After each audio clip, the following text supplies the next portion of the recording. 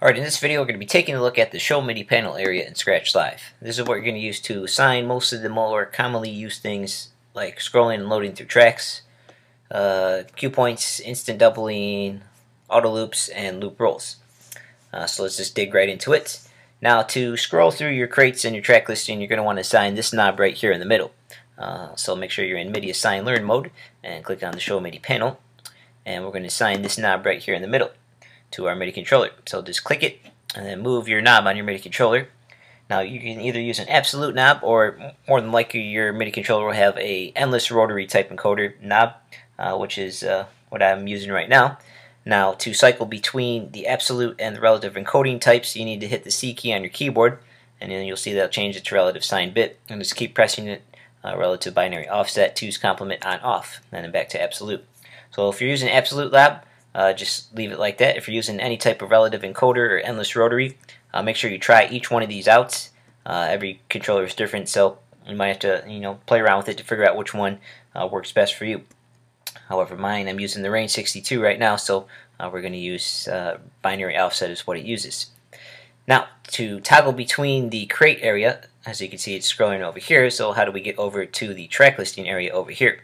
Uh, well, the keyboard shortcut for that is the tab key on your keyboard. Uh, so you're going to want to slide this tab focus button right here, which does the same thing. Uh, so let's mouse over it, click it, and press the button on your MIDI controller uh, that you want to assign it to. Now this will toggle between the crate area and the track listing, track listing area like so. Then you use the same knob uh, to scroll between both the uh, track listing and the crate area. so you don't have to assign different knobs or anything, you use the same knob. next is add to prepare. Uh, that just adds the currently highlighted track to the uh, prepare area over here. Let me just exit out of it quickly. Go into the prepare area. And so let's uh, let's uh, try and find a track over here. Okay, then we'll click this button right there. And there you go. That'll add it to the prepare area for you. Uh, next is the undo load. If you accidentally load a track, uh, you can MIDI assign this to uh, basically unload the track from the deck. So let's uh, let's, uh, I don't know, let's load this track right here. And then, bam, just hit the button and that will unload the track from the deck for you in case you accidentally load the wrong track. Now, the up, down, left, and right, uh, these are buttons that you're going to want to assign. Now, they're basically for navigating your library also. Uh, but instead of using the knob, you can use buttons in case your controller doesn't have knobs. Let me just go ahead and assign them all, and then I'll explain what they do. Uh, so up, uh, basically like it says, that'll just scroll up one track at a time. Down will scroll uh, one track at a time. Or if you hold the button down on your controller, that will scroll a little bit faster. Uh, so if you don't have any knobs on your MIDI controller, you can still uh, navigate through your library uh, using the buttons with the up and down. Now, left and right, if you have a lot of columns showing, like you do over here, basically left and right just does that. That just scrolls left and right in the crate area, or excuse me, in the track listing area. However, if you are in the crate area, and as you can see, this crate, if you can see the triangle right here, that means that, um, well, let me get out of the MIDI panel, it has subcrates in it. Now, the left and right uh, MIDI commands will also collapse and expand um, any crate that has any subcrates in it. So uh, when you're scrolling, uh, you know, you can uh, just hit the right key, I believe. Let's open the panel so I can see which key does exactly. Uh, left, yes, left will collapse it, right will expand it, as you can see as I'm highlighting it. Uh, the buttons highlight when I press them. So, if you're in the crate area, left and right will collapse and expand any crates that have subcrates. Or if you're in the track listing area, that just scrolls left or right in the track listing area. And that is basically it for the uh, library navigation controls. Let's move over to the deck controls and since they're the same on both sides, I don't have to go through it twice, so uh, we'll just do it on the left deck. Uh, set temporary cue point. Uh, in addition to these five cue points that uh, everyone should be accustomed with, you also have a kind of a, a, a temporary cue point, which kind of acts like the cue on a, on a CDJ, if you ever used a Pioneer CDJ. Uh, now, if you don't have a temporary cue point set, it defaults to the beginning of the track, which I like to use anyways. So I usually don't set a temporary cue point, I just leave it as the default. Uh, so that's a good way to uh, restart to the beginning of the track. Uh, so let's uh, load a track first of all. Oh, I don't know, let's just load this guy right here. Okay, so we'll just map it anyways. Let me shift to a different MIDI layer first though on my controller. Alright, set temporary cue. We'll assign it to this one. Temporary cue point. Again, I'm just going to go ahead and assign all these quickly and then I'll explain what each one does. Although they should be, uh, you know, pretty obvious what they each do. Alright, so set temporary cue point. If you have the track loaded, uh, again, uh, let's close out of the panel first of all. Get the track playing. Again, a temporary cue point is kind of like a CDJ style cue point. So let's say we want to set a temporary cue point right there. Just set your temporary cue point button, and you'll see um, it sets a kind of a white marker right there, and that is basically your temporary cue point. So then, uh, if you if you have it paused in internal mode or in relative mode, you know this will play the track as long as you're holding the button down on your MIDI controller, and when you let go, it will jump back to the cue point and stop playback. Alright, so that is the temporary cue point. Now again, as I mentioned, if you don't have a temporary cue point set, it defaults to the beginning of the track.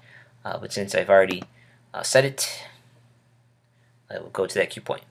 Now, set cue, uh, that basically just sets a new cue point in the, uh, the normal regular cue points 1 through 5 at the current playhead position. So let's play the track. And if you just press the button, that will add a new cue point in the order in the next available empty cue slot. So that's just a handy way just to add a cue point to the next available slot.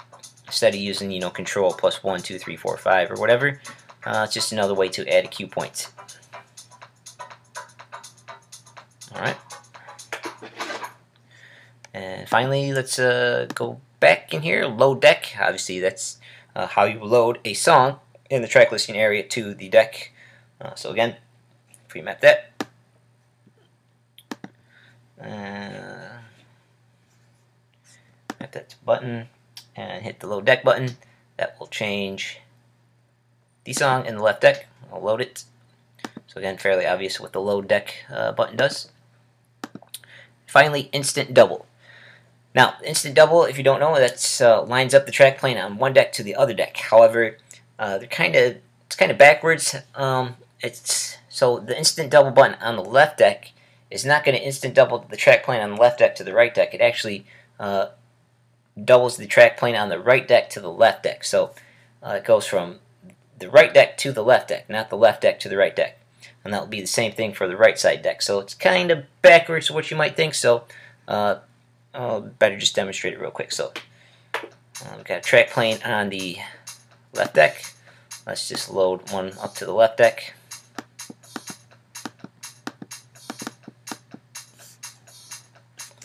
Alright. Okay. I'm going to get out of MIDI and go into the panel.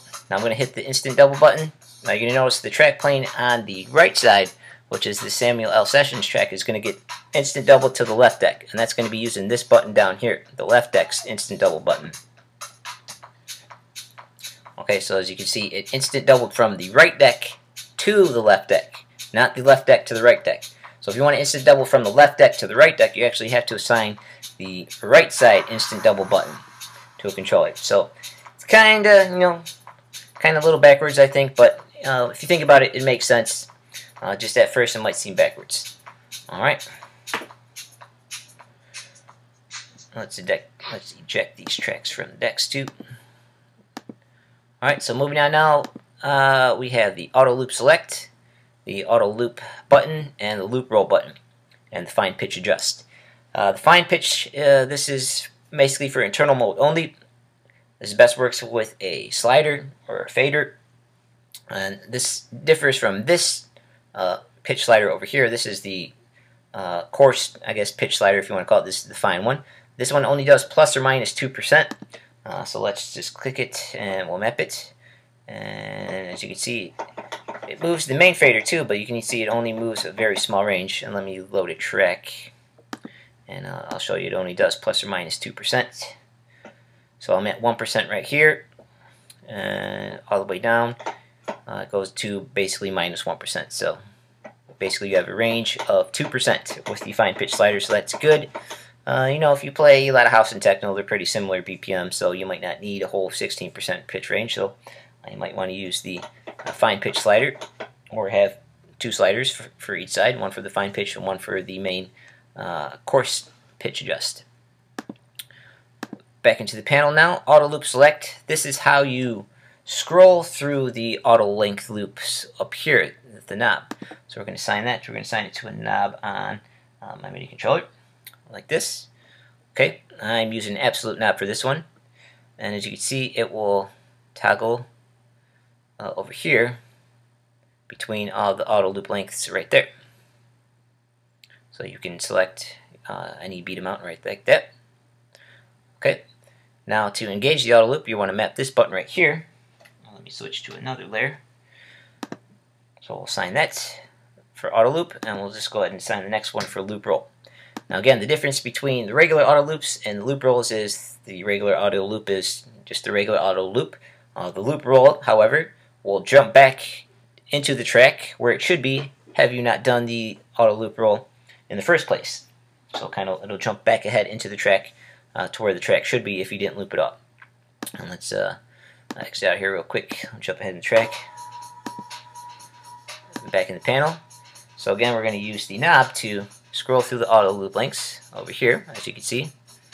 And if I'm on, let's say, one half, and I hit the auto loop button, it'll do an auto loop of that length. And you can also adjust the loop length amount with the knob while you're inside the loop, like so. Okay.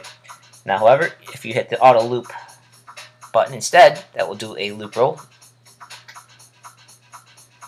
and watch you will notice the track jumps back ahead into the track where it should have been.